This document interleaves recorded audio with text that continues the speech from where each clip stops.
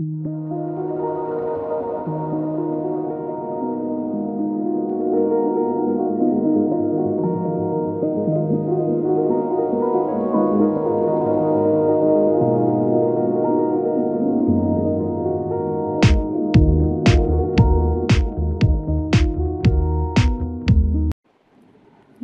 મિત્રો મારું નામ છે ભૂતિયા નીતા. હું આજે ઈપીસી ફોરના યુનિટ થ્રીનો ટોપિક છે, અક્ષમ બાળકોના શિક્ષણ અંગેની રાષ્ટ્રીય કક્ષાની નીતિઓમાં એસએસએ એટલે કે સર્વ શિક્ષા અભિયાન વિશે પ્રેઝન્ટ કરીશ. સર્વ શિક્ષા અભિયાનને પ્રાથમિક શિક્ષણના સાર્વત્રિકરણ માટે કેન્દ્ર સરકાર દ્વારા જાહેર કરવામાં આવેલ એક સમયબદ્ધ કાર્યક્રમ છે.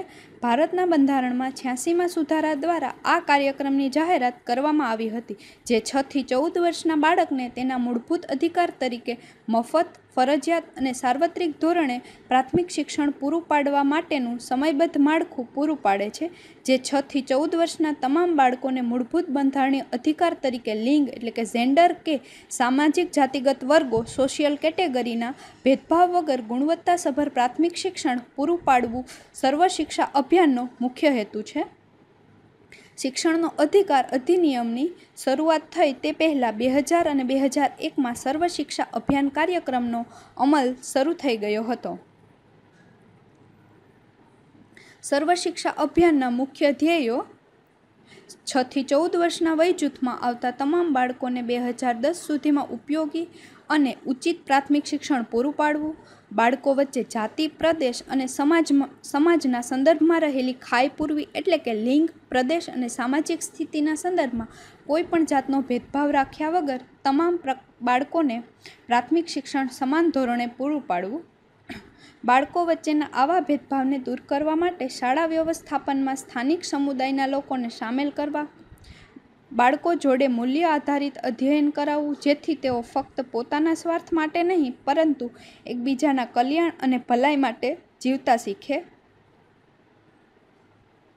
બાળકો પોતાની ક્ષમતાઓનો આધ્યાત્મિક અને વાસ્તવિક એમ બંને રીતે વિકાસ કરી શકે તે માટે તેમને તેમના સ્વાભાવિક પર્યાવરણ અંગે જ્ઞાન મેળવવા અને પોતાના પર્યાવરણ પર પ્રભુત્વ મેળવવા માટેની તક પૂરી પાડવી. સર્વ શિક્ષા અભિયાન પ્રાથમિક પ્રારંભિક બચપણ સંભાળ અને શિક્ષણના મહત્ત્વને સ્વીકારે છે અને જીરોથી ચૌદ વર્ષના બાળકના વિકાસને એક સતત પ્રક્રિયા તરીકે જુએ છે. પૂર્વ પ્રાથમિક શિક્ષણને સ્ત્રી અને બાળ વિકાસ વિભાગ દ્વારા અપાતી સહાયના પૂરક સહાય સર્વ શિક્ષા અભિયાન અંતર્ગત આપવામાં આવશે. સંકલિત બાળ વિકાસ સેવા યોજનાના પૂર્વ પ્રાથમિક શિક્ષણ કેન્દ્રોને અને જ્યાં આવા સેવા કેન્દ્રો ન હોય તેવા ક્ષેત્રોમાં પૂર્વ પ્રાથમિક શિક્ષણ પૂરું પાડતી સંસ્થાને સીધી જ આવી સહાય પૂરી પાડવામાં આવશે. ત્યારબાદ છે સર્વ શિક્ષા અભિયાનના મુખ્ય હેતુઓ. શિક્ષણ બાહેધારી કેન્દ્ર વૈકલ્પિક શાળા વ્યવસ્થા અને શાળામાં પરત યોજનાને કારણે બે હજાર ત્રણ સુધીમાં છથી ચૌદ વર્ષના તમામ બાળકોને શાળામાં હશે.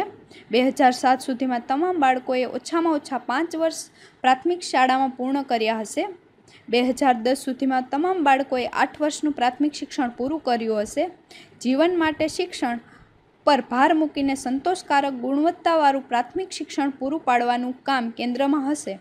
બે હજાર સાત સુધીમાં પ્રાથમિક શિક્ષણમાંથી અને બે હજાર દસ સુધીમાં પ્રાથમિક શિક્ષણમાંથી લિંગ આધારિત અને સામાજિક તફાવત દૂર કરી દેવામાં આવશે. સર્વ શિક્ષા અભિયાનના હસ્તક્ષેપ અગાઉ ચર્ચવામાં આવેલા ધ્યેયો અને હેતુઓ સિવાય પણ સર્વ શિક્ષા અભિયાન દ્વારા નીચે જણાવેલ કાર્યોમાં હસ્તક્ષેપ કરવામાં આવશે. બાળકોને મફત પાઠ્યપુસ્તકો અને ગણવેશ પૂરા પાડવા, નવી શાળાઓની સ્થાપના કરવી, વૈકલ્પિક શિક્ષણ વ્યવસ્થા પૂરી પાડવી, શાળા માટેના નવા મકાનો અને શૌચાલયોનું નિર્માણ કરવું, પીવાના પાણીની પૂરતી સુવિધા પૂરી પાડવી, પૂરતા પ્રમાણમાં શિક્ષકોની નિમણૂક કરવી સેવાકાલીન શિક્ષક પ્રશિક્ષણ કાર્યક્રમોનું આયોજન કરવું, બાળકોની અધ્યયન નિષ્પત્તિ વધે તે માટેના પ્રયત્નો કરવા, શાળામાં બાળકોને વધુ પડતી ગેરહાજરીને ધ્યાનમાં રાખીને મધ્યાહન ભોજન યોજના શરૂ કરવી કે જેથી બાળકો શાળામાં હાજર રહે.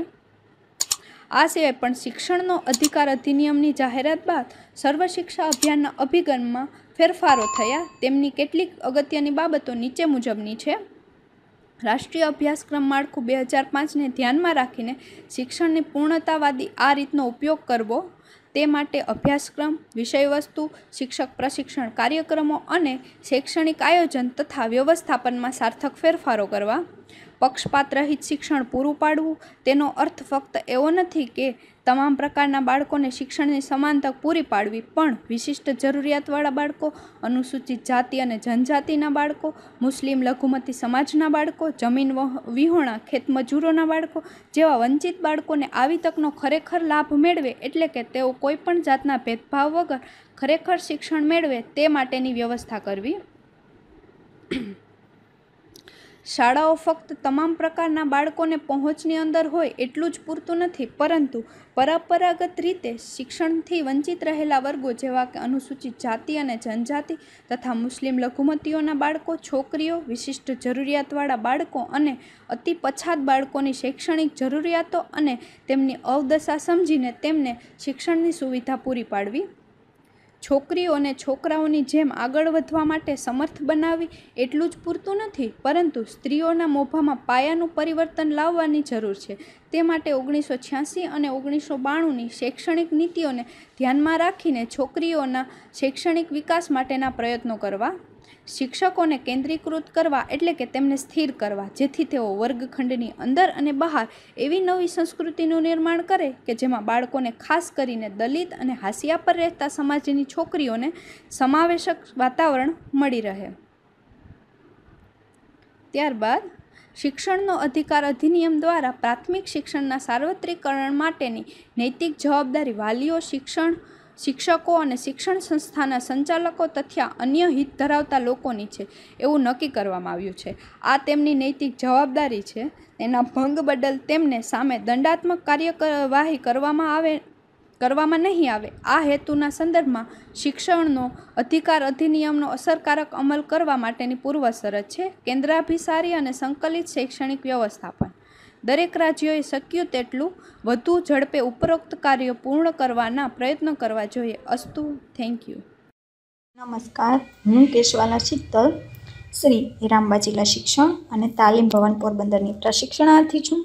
આજના આ ઓનલાઈન લેક્ચરમાં આપણે એનસીએફ બે હજાર પાંચનો અભ્યાસ કરીશું. રાષ્ટ્રીય અભ્યાસક્રમ રૂપરેખા બે હજાર પાંચમાં અક્ષમ બાળકોના શિક્ષણ અંગે નીચે જણાવ્યા મુજબ ચર્ચા કરવામાં આવી છે. હાંસિયા પરના બાળકો જેવા કે અક્ષમતા ધરાવતા બાળકો માટે સમાવેશક વાતાવરણની રચના કરવી એ મહત્વનું કામ છે. કોઈ વિદ્યાર્થી કે વિદ્યાર્થીઓના જૂથને અધ્યયન અક્ષમતા ધરાવતા બાળકો તરીકે જોવા અને ઓળખવા એ તેમનામાં લાચારી અને લઘુતા ગ્રંથિની ભાવના પેદા કરે છે. વર્ગખંડમાં અયોગ્ય શિક્ષણશાસ્ત્રીય અભિગમનો ઉપયોગ કરવાને કારણે વિવિધ સામાજિક, સાંસ્કૃતિક પરિવેશ ધરાવતા બાળકો મુશ્કેલી અનુભવે છે. અક્ષમતા ધરાવતા બાળકોને અન્ય બાળકોની જેમ જ તેમના જૂથના સભ્ય બનવાનો અધિકાર છે. બાળકો વચ્ચે રહેલ તફાવતને સમસ્યા તરીકે જોવાને બદલે તેનો અધ્યયનમાં સહાયક સ્ત્રોત તરીકે સ્વીકાર થવો જોઈએ. શાળામાં આવા બાળકોનું સમાવેશન કરવું એ સમાજમાં તેમનું સમાવેશન કરવા માટેનો માર્ગ ખોલી આપે છે. તેથી દરેક પ્રકારના બાળકોને અનુકૂળ આવે તેવો લવચિકતા ધરાવતો અભ્યાસક્રમ ઘડવાનું કામ શાળાનું છે.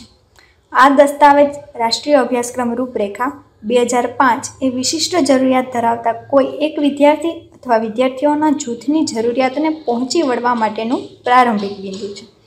દરેક બાળકને તેની ક્ષમતા મુજબ પડકારજનક કાર્ય મળી રહે તથા તેમને ક્ષમતા મુજબ અધ્યયન કરવામાં તથા સિદ્ધિ મેળવવામાં સફળતા મેળવવાની તક મળે તેવી જોગવાઈ અભ્યાસક્રમમાં જ હોવી જોઈએ. દરેક વિદ્યાર્થીઓની વિવિધ જરૂરિયાતોને પૂર્ણ કરી શકાય. તે રીતે અધ્યયન, અધ્યાપન પ્રક્રિયાનું આયોજન અને અમલીકરણ થવું જોઈએ.